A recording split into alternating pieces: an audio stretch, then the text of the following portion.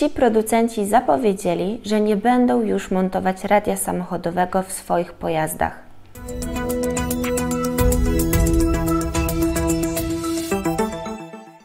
Nadawanie na tych samych falach w relacjach międzyludzkich oznacza, że dobrze się z kimś rozumiecie, dobrze się ze sobą dogadujecie lub macie podobne poglądy czy podejścia w pewnych sytuacjach. Jednak w dosłownym znaczeniu dwie fale elektromagnetyczne leżące na tej samej sekwencji dają mało pozytywny rezultat. Przemysł motoryzacyjny na całym świecie w coraz większym stopniu koncentruje się na produkcji samochodów elektrycznych i coraz większej liczby oprogramowań w pojazdach. Może to wyeliminować urządzenie, które od dziesięcioleci jest nieodłączną częścią aut z silnikiem spalinowym. Wraz z rosnącym naciskiem na samochody elektryczne pojawiają się komplikacje.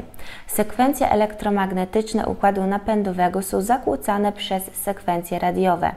Producenci tacy jak Tesla, BMW, Ford, Mazda, Polestar, Rivian, Volkswagen i Volvo zadeklarowali, że nie chcą już używać radia o średnich falach w swoich nowych modelach samochodów elektrycznych. To wielka szkoda dla kierowców, ponieważ radio było i jeszcze jest czymś więcej niż tylko system do słuchania muzyki.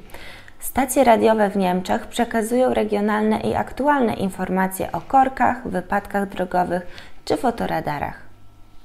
Interesują Cię newsy z Niemiec, a także informacje dotyczące życia i pracy za granicą?